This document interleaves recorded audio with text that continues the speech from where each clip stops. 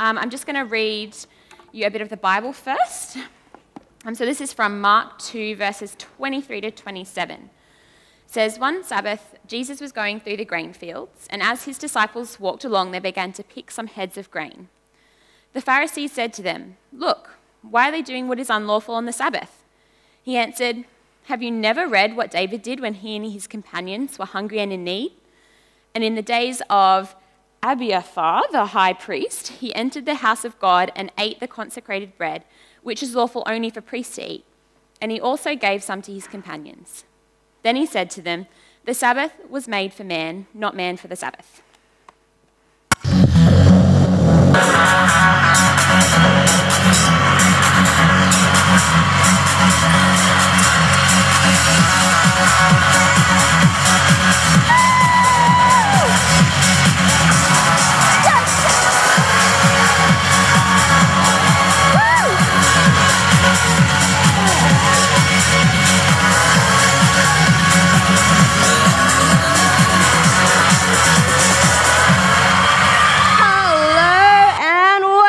Welcome to the game of life, the game show that sorts the living from the losing.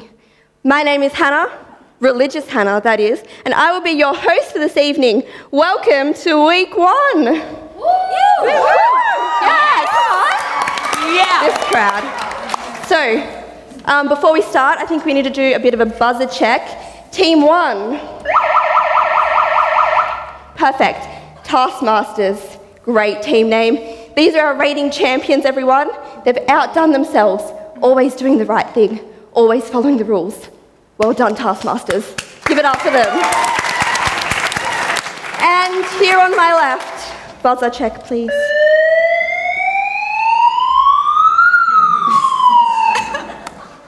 Fabulous. This team here on my left, the gracious resters. You guys do sure look like you're having a rest. Well, we'll see how that goes for them. All right, now the aim of this game is to honor God. Simple? Maybe. Everyone got it? Well, then let's go. Our first topic, round one love. Whose love? God's love.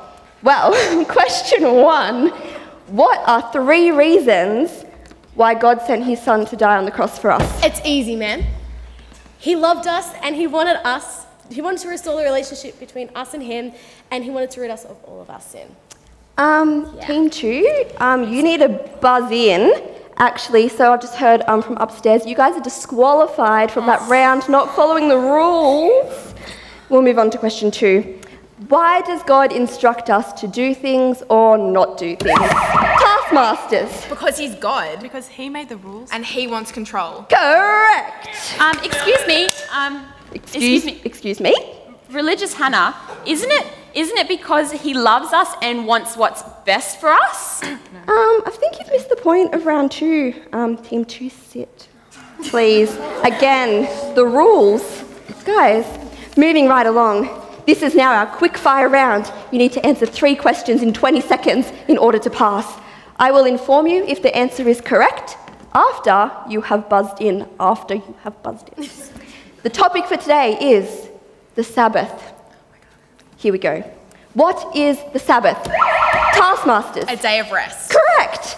What are we not to do on the Sabbath? Taskmasters. Work, harvest the fields, lift a heavy load. Or walk more than 2,000 meters. Correct, correct, correct. And why do we not do these things?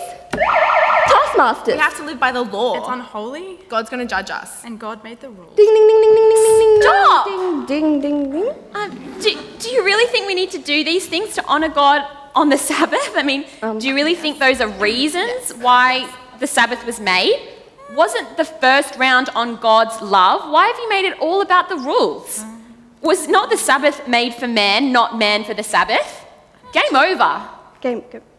Well, this is awkward. Um, sorry, everyone. It appears we're having a few um, technical difficulties. Um, we'll cut to that ad break. All right, and we'll see you back again. Maybe, maybe not. I don't know what's happening.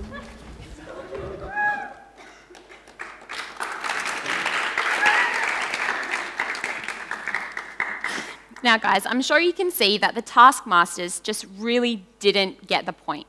Um, just like the Pharisees in the, um, the part of the Bible that I read earlier, they were all about the rules, um, what they were, how we follow them, and about how following a set list of criteria is what makes us good people and people who are right with God.